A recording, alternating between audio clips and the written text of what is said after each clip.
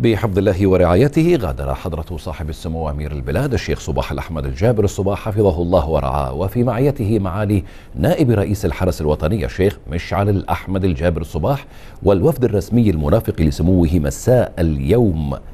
غادر الولايات المتحدة الأمريكية الصديقة بعد زيارة عمل أجرى سموه رعاه الله خلالها مباحثات رسمية مع فخامة الرئيس دونالد ترامب رئيس الولايات المتحدة الأمريكية الصديقة بالعاصمة واشنطن.